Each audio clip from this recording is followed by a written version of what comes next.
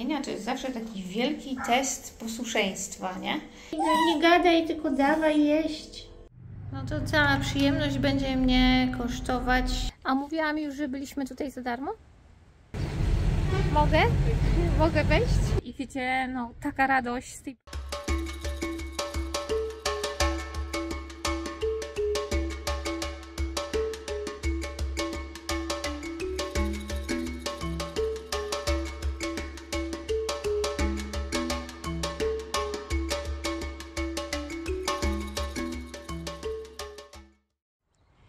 No, piękny kawałek kraju tutaj jest, ale niestety jak się wyjdzie za bramę, już nie jest tak pięknie.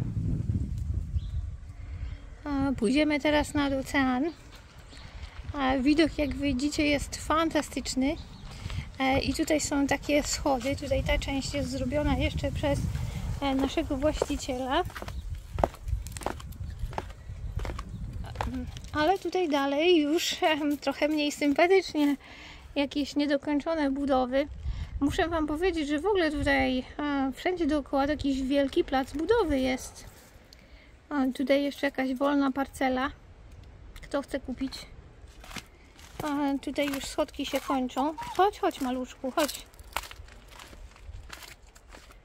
E, I w ogóle idziemy przez jakieś gruzowisko. I tu wiecie, tak e, mi się nasuwa właśnie taka hmm, jakby refleksja, nie? E, czy chcielibyśmy mieszkać w takim miejscu? Wiecie, że my podróżujemy po to, żeby znaleźć miejsce do mieszkania. I w każdym miejscu, tak zawsze jak jesteśmy kilka dni dłużej, a tu się zastanawiamy, czy chcielibyśmy tu mieszkać. No i faktycznie taki kawałek kraju sobie stworzył ten właściciel. E, popatrzcie, jak tutaj wygląda. Są zastawione blachą. Tam ktoś mieszka, bo kiedyś widzieliśmy, jak ktoś szedł. Tutaj też jakieś, nie wiem, jest zagrodzona parcela. Pełno śmieci wszędzie oczywiście. A właśnie, czy chcielibyście mieszkać w ten sposób, że macie przepiękne miejsce, taki, no, powtórzę po raz trzeci, raj na ziemi, nie?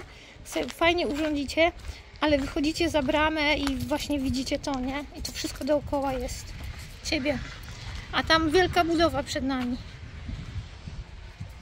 Takich większych tutaj już kilka widzieliśmy i mniejszych, tak więc dużo się buduje, ale dużo też jest niedokończonych jakichś takich budów, jak wszędzie w Afryce żeśmy widzieli. I tutaj wychodzimy do plaży, która jest naprawdę ładna. A tu jest ta budowa wielka. A tutaj, tak jak mówiłam, jakieś opuszczone takie budynki, które w ogóle nie zostały skończone.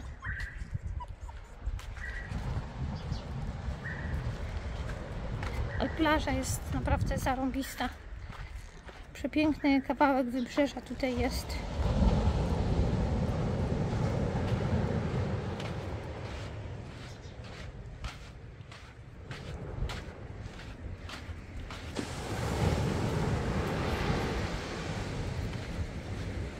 Ale niestety a śmiecie jest sporo śmieci.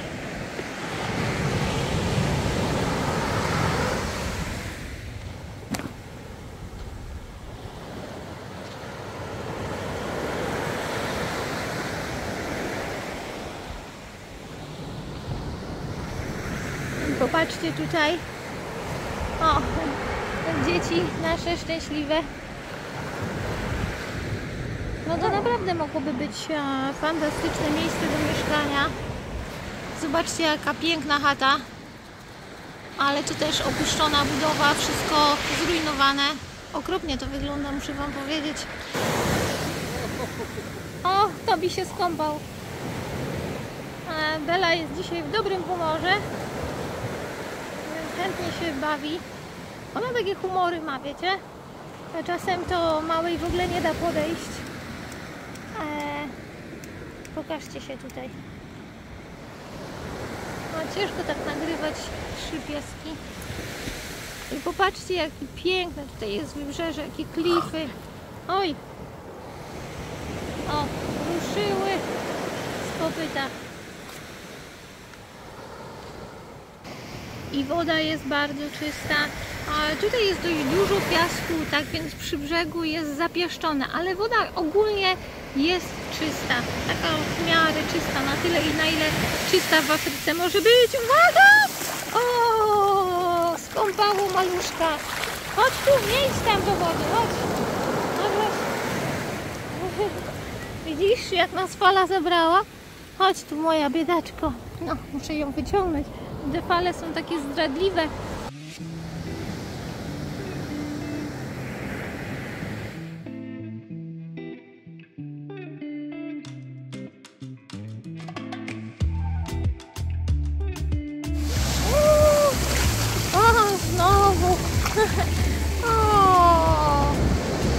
Znowu ją zalało. Chodź, chodź. Musimy odejść trochę dalej, wiesz? Bo widzisz, co tutaj się dzieje.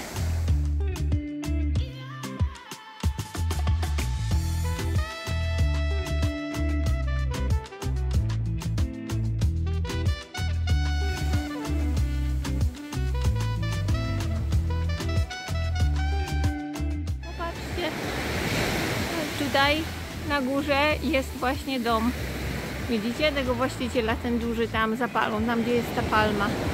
No ale piękna ta lokalizacja, normalnie po prostu nawet e, ten kawałek plaży jest czysty, dlatego że jak jest przypływ, to tutaj praktycznie całą tą plażę zabiera. A jak jest odpływ, to jest troszeczkę więcej. A teraz jest pół na pół. O, muszelka. O.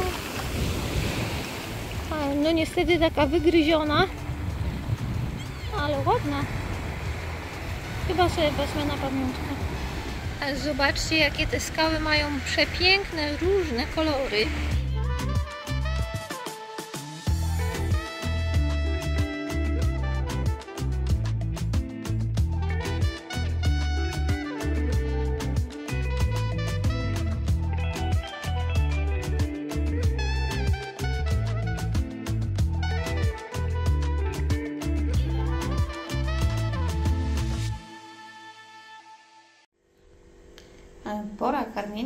Zawsze taki wielki test posłuszeństwa, nie?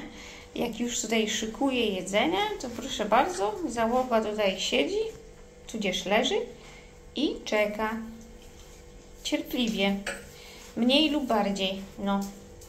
No oczywiście, no, mała pchełka najmniej cierpliwie. Ojej, jaka ja głodna. A co dzisiaj dają? Dziś mam tutaj wołowinę ugotowaną z ryżem i z marchewką i z rzepą E, i do tego wszystkiego jeszcze dorzucę o groszek i będzie po prostu piękna wyżerka, prawda? Oj, ktoś tu się strasznie niecierpliwi, no.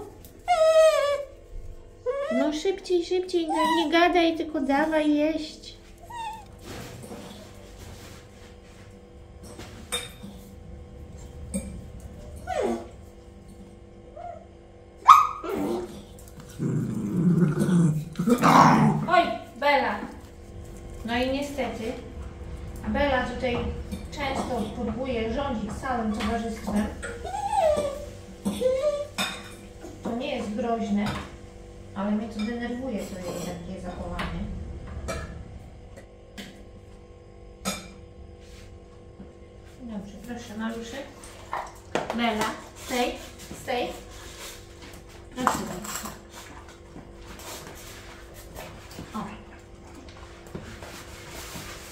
Wszyscy jedzą.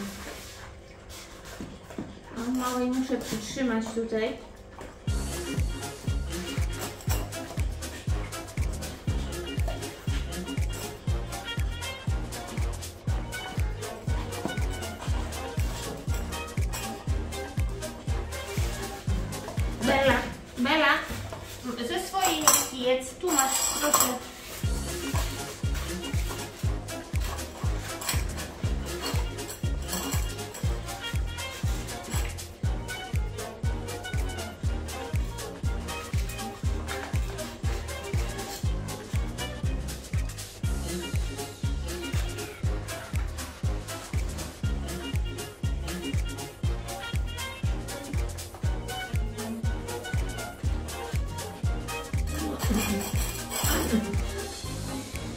Na koniec zawsze każdy każdemu sprawdza to, co miał w misce, tak?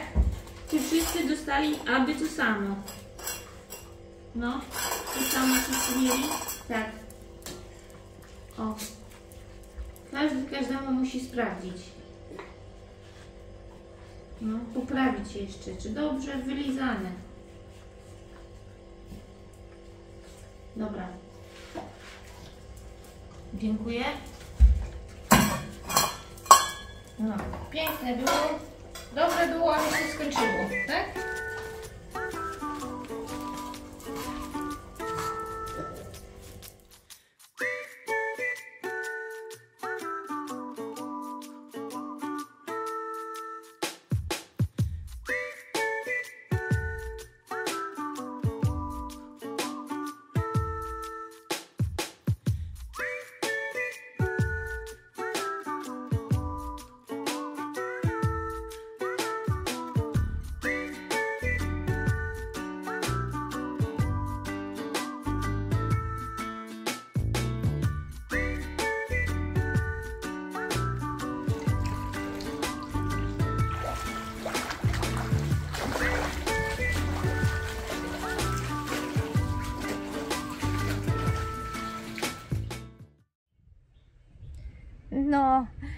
Popływane, słuchajcie.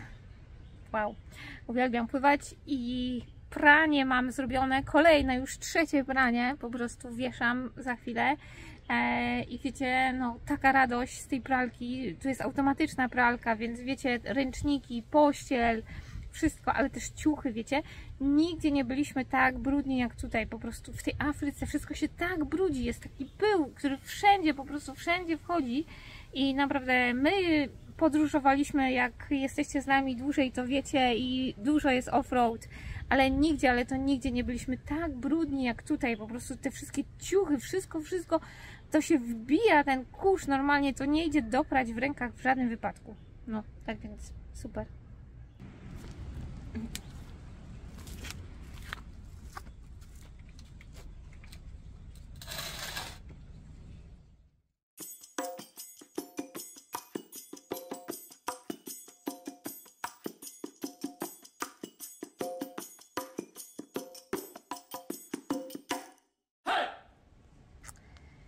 No, wszystko co dobre szybko się kończy i nasz pobyt tutaj też się skończył. Em, I trzeba się pakować. A mówiłam już, że byliśmy tutaj za darmo? Nie wiem, czy mówiłam. Byliśmy tutaj za darmo, bo dostałam taki voucher e, do wykorzystania na Airbnb. E, Ja przez Airbnb wynajmuję, nie tylko jak coś szukamy, teraz to już mało, bo śpimy zawsze w samochodzie, e, ale kiedyś korzystałam, jak żeśmy szukali jakiegoś e, lokum gdzieś, raczej rzadko korzystam z Booking.com, tylko właśnie z Airbnb. A, ale jestem też gospodarzem i jako gospodarz, bo ja też wynajmuję, tak? Więc jako gospodarz tam e, jakby ludzie ci wystawiają opinie, nie? Czy są zadowoleni, czy wszystko ok. A tam jakby oni mają taki. Mm, tak, taką skalę, oni tam oceniają, jakim jesteś gospodarzem i jak jesteś dobrym gospodarzem, nie robisz żadnych, no nie ma z tobą kłopotu, ludzie są zadowoleni, masz wystarczającą liczbę tych rezerwacji i nie dokonujesz żadnych e, kancelacji tych rezerwacji, to e, wtedy dostajesz tytuł super host, takiego super gospodarza.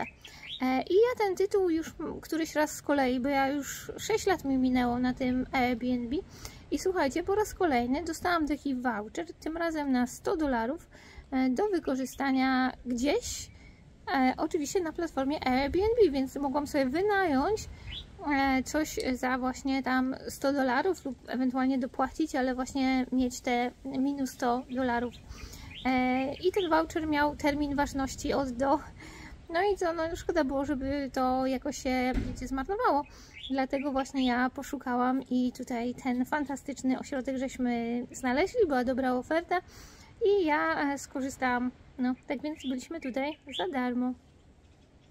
A, swoją drogą, jakby ktoś chciał, e, to ja mam taki kod e, który mogę przesłać. Jakby ktoś był zainteresowany i chciał zostać gospodarzem, e, to dajcie znać, bo jeżeli taki kod nadal będzie aktualny, to wyślę i wtedy wy coś tam dostajecie na start jakiś budżet do wykorzystania mm, i ja też dostanę właśnie jakiś voucher do wykorzystania na przyszłość. Tak więc polecam. W ogóle fajna platforma, muszę Wam powiedzieć. Bardzo intuicyjna, bardzo łatwo się obsługuje, fajnie jest ten kalendarz, te rezerwacje. Właśnie jakby ktoś się zastanawiał i chciał wynajmować swój pokój, domek, cokolwiek tam macie, to warto. Ja nawet wynajmowałam jeden pokój w naszym domu, który mieliśmy po prostu, bo szukałam jakichś dodatkowych, wiecie, no, możliwości zarobienia pieniędzy. Wiem, że teraz wiele osób e, no, jest w ciężkiej sytuacji i może się warto zastanowić, czy po prostu części domu, mieszkania e, nie wynająć. Polecam. No, musimy teraz wszystko z powrotem do złomka zanieść, dlatego tak naprawdę nie bardzo lubimy e, takie noclegi. Znaczy, lubimy z jednej strony fajnie, super było się poprać, świetny był basen, nawet w domu, że tak powiem, się fajnie spało w tym łóżku tutaj.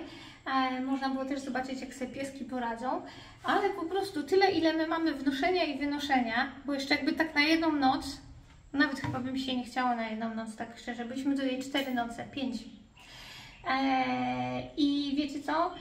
E, no to ja muszę gotować i wszystko i wiecie, no to muszę mieć, nie? Wszystkie te swoje rzeczy, przyprawy, tam cukier, herbata, nie? Wszystko sobie musisz po prostu e, poprzynosić e, i wszystko trzeba z powrotem e, pozanosić, nie?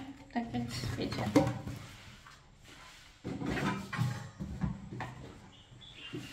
E, jest co robić, nie?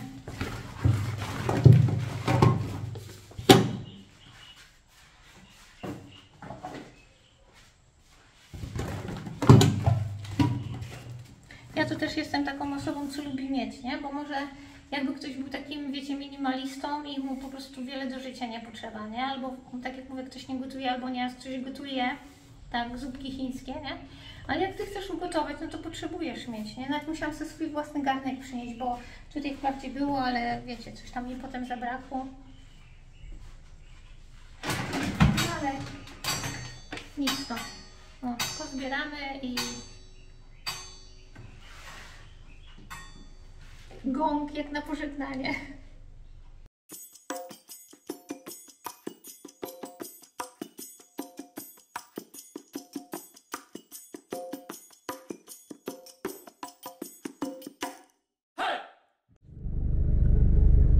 z życia w Afryce. Słuchajcie, e, moje okulary znowu miały wypadek. Ja wiecznie nam z okularami już nie będę nawet za dużo nagrywać, bo po prostu no jakoś te moje okulary nie mają szczęścia u mnie w moich rękach, zawsze gdzieś spadną i potłukło się jedno um, one tam miały kilka wypadków, no ale dało się jeszcze z nich korzystać i e, mimo, że były pęknięcia, to mogłam czytać, ale teraz już wypadło jedno szkiełko i no po prostu trzeba było już wymienić e, i przyszłam do optyka i mówię, czy wymieni mi tutaj szkła, a on się pyta, e, to jedno? Czy chcę to jedno wymienić, a drugie pęknięte, nie? To dla nas to oczywiste, że musisz dwa. A tutaj po prostu ludzie tak skromnie żyją, żeby po prostu wymienili to jedno, bo drugie, mimo że pęknięte, jeszcze jest ok. Mogę? Mogę wejść? A? Taki mały pomocnik tutaj jest drzwi otwiera i zamyka. Wstydzi się troszeczkę. No, skromnie, skromnie, ale wszystko mają. E, tutaj e, pan e, optyk e, mi e, zbadał wzrok. E, tam może sobie zajrzę. Can I just uh, go there and have a look? Yes. tutaj taki mały gabinet gdzie po prostu jak wszędzie są te wszystkie takie literki, tam musisz czytać, aż ustawią e, odpowiedni, e, odpowiednie te szkiełka, prawda? Tak więc, no, super. No to cała przyjemność będzie mnie kosztować em, jakieś 350 zł za nowe szkiełka.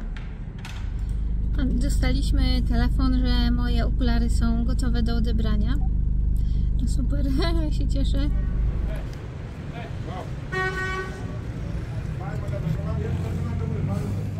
Bonjour, ça va? No to moje nowe okulary są gotowe. No, super, znowu mogę czytać. Tak jak Tobi, już poczuł się tutaj dobrze. Zrobiliśmy im tutaj gniazdko. Trafił do zera. Dzieci będą e, spać tutaj na zewnątrz. Uwaga, umówiliśmy się, że psy nie śpią w łóżku, nie? Psy nie śpią w łóżku, prawda? Nie wyszło. I znowu ci w życiu nie wyszło. Nic mi tak dobrze w życiu nie wyszło jak włosy. Ja nie wiem po prostu. Ja, ja, mi słów brak po prostu. Wszystko fajnie, ja bardzo lubię pieski, ale po prostu z Tobiego się tak się sypie, że ja Nie nawet... jest tak źle. Jest źle. Jest po prostu tragicznie, ale popatrzcie, jaki on jest szczęśliwy. To bierz. Tobi. Nawet Beli nie przeszkadza, że inne pieski są tak blisko. No po prostu happy family.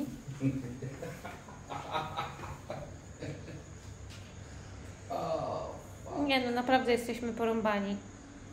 A wy? Mm. No Jua. Nie, Jua, wszystko twoja wina.